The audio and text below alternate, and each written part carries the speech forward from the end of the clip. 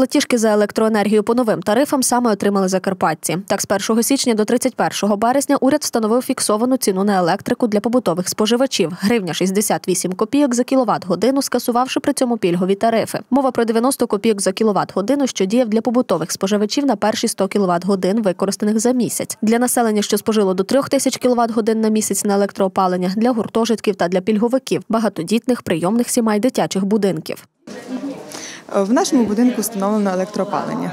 В опалювальний період е, в середньому в нас було споживання около 1500 кВт. Рахуночок нам приходив на суму 1000 до 1300 гривень.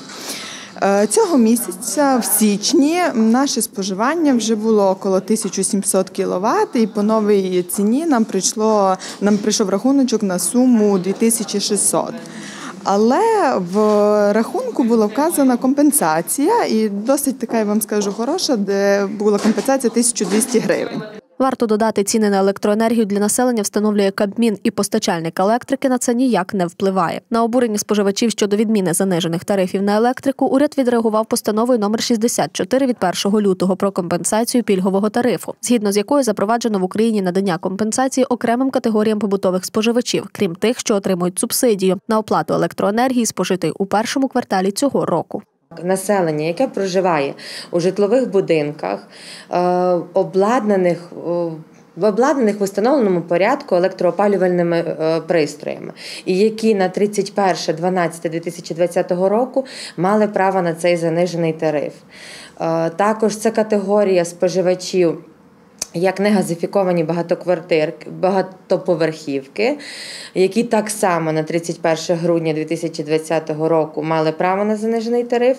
Та третя категорія споживачів це багатодітні е, сім'ї, е, будинки е, сімейного типу. Компенсацію споживачі отримують автоматично. Звертатися до постачальника у нашій області це товариство Закарпаття Енергозбут не потрібно. Вже сформовані і надіслані у Мінсоцполітики загальні реєстри споживачів, що мають право на компенсацію. Отримувачі субсидій сюди не входять.